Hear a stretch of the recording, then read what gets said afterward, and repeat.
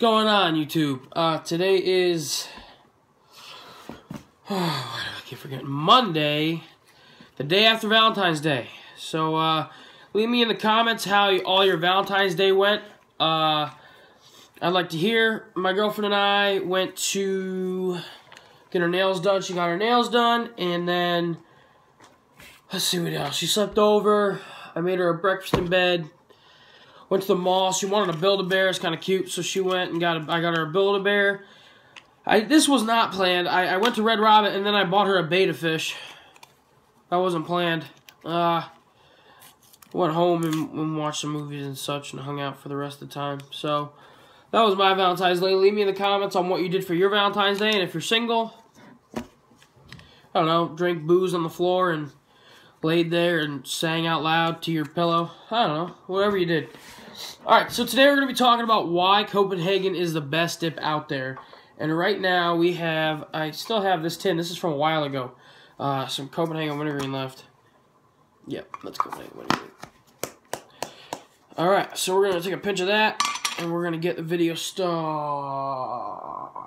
Give me a second. I'm going to get some water, and, uh, yeah, because I don't like not having a drink when I dip, so be right back. Hey, guys, I'm back. Sorry. Had to flip with some water here. Anyway, so we're dipping on Copenhagen Wintergreen. Let's get a pinch of that. And this is my last pinch of the can, but it's too good to waste. Ah, it's gonna be a little pinch, but hey. Um. So basically, we're gonna be talking about why Copenhagen is the best dip. It's gonna be a pretty lengthy video. Um. Uh. And uh, also, a Q&A video is coming up still. Uh, so, leave me some comments in the uh, comment thingamajigger. And, uh, yeah. So, anyway, why is Copenhagen the best dip? Well, first of all, let's go over all the dips. The main dips that everybody knows about. Grizzly. Let's go over Grizzly first. Grizzly... Well, there's pouches anyway, but... Grizzly is a... I don't like it that much because it's got a plasticky taste, okay? There's one reason. Um, the second reason is when I dip Grizzly, I move it. I move the dip all around my mouth during the dip, so well, down on the bottom. And and what happens with Grizzly, it turns to mush when you keep moving it around. But I like to keep moving it around just to I don't know. I just like moving it around. And it turns to fucking mush, and I fucking hate it. And then I just gotta spit it out five minutes later. I mean, uh, other than that, it's a cheap tobacco. Um, it's just not that good, and and they focus. The flavors aren't that good. I mean, the wintergreen's all right, but it's plasticky and, and it turns to mush. That's why Grizzly I don't like it as much. Skoal. Okay, let's just get this out of the way. First of all, Skoal's for pussies. Which I, why do I still have it? I still have spearmint. I didn't even know I had the spearmint. I do. That's weird. Anyway, so Skoal's for pussies, okay? As I have Skoal left. Um, but honestly, Skoal focuses way too much on the flavors. Their nicotine's not there. It doesn't do anything. It, and, and their flavors don't last. They focus on the flavor of it rather than it lasting. I mean, they got all the weird fucking flavors and just, it's nasty and just boring. It's, it's not that good. It, it, the cut is okay. The cut is kind of like a Copenhagen cut, or a little bit more of a long cut than a mid cut, but it's still, they just focus on their flavors, and there's no such thing as nicotine in this shit. I mean, it's kind of gross, to be honest with you. Um, so that's why I don't like Skoal as much as Copenhagen. Stokers. Stoker's, the reason why I don't like Stoker's as much as Copenhagen is because, first of all, Stoker's has really good flavors, and their flavors taste good, but the problem with Stoker's is it's such a long cut, which is good at the same time as it's bad. Uh, I just don't, and, the, the thing I hate about Stoker's, it's just a foamy, nasty kind of spit. It doesn't feel right. It's very foamy, it, it it's light, it's kind of weird, it's, it's, ah, not my thing. But if the spit was good, I'd be dipping this more. I don't have. Yes, I do.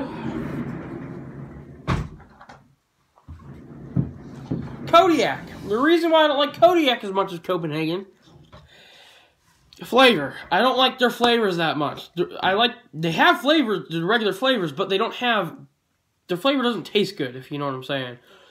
The wintergreen tastes kind of smoky or bitter. I don't know how to say it. Smoky kind of tastes kind of like you just barbecued it. Um, that's just kind of my opinion on it. Maybe I'm completely off with some other people, but that's just how I feel. Um, it's a cheap tobacco. It is the same company that makes Grizzly. Um, and the flavor doesn't last as long as I'd like it to.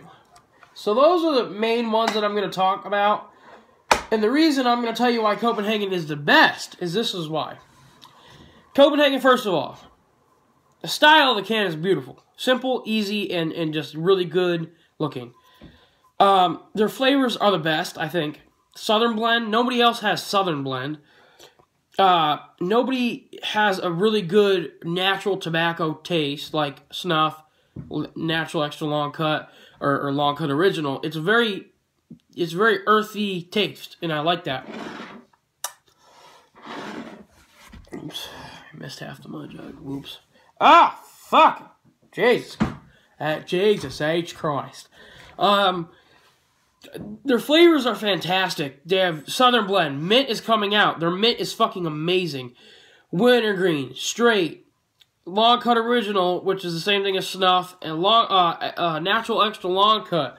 Um, those are just some of the flavors in there, and they're perfect. I mean, they they nail them every single time. I feel like Copenhagen goes to certain extents just to get their flavors right, and then they go to certain extents just to get the cut right. The cut is perfect. The cut Packs perfect in your lip. The cut is just, a, a, a, it's more of a mid cut than a long cut, but it, it packs together perfectly. It pinches fantastic. Um, and, and really overall, it's the best dip. The flavor outlasts any other flavor or any other dip there out out there right now. And and everything they do, it, it seems like it's done to the T. It's done to the perfect perfect way. And uh, that's why I love Copenhagen so much. The spit is black, the spit is dark, the spit is smooth, and it's very, um, it's very, not, it's not foamy, it's, it's just perfect. Um, and, and Copenhagen has been doing this the most out of any, this is the longest, Copenhagen has been making dip the longest out of any company, and that's why I think they know what they're doing so well. Is because they came up with this shit. This is they invented this shit. Um, and, and it's just perfect. I mean, the simplicity of the cans is just. I mean, they're beautiful, and and I think everything about Copenhagen is nailed to the T on on, on perfection. And uh, I mean, it's just the best dip I think out there. And if you don't agree, well, fuck you because I fucking hate you. I don't hate you, but I think you're fucking psychotic.